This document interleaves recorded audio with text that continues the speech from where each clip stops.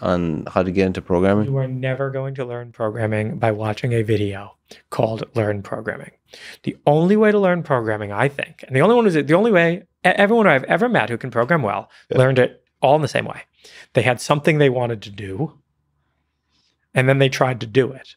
And then they were like, oh, well, okay, this is kind of, you know, it'd be nice if the computer could kind of do this thing. And then, you know, that's how you learn. You just keep pushing on a project.